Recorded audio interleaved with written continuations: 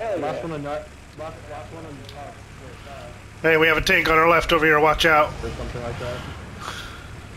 It's a recon or light tank on our left. We might ram into. it. We're gonna about to hit him.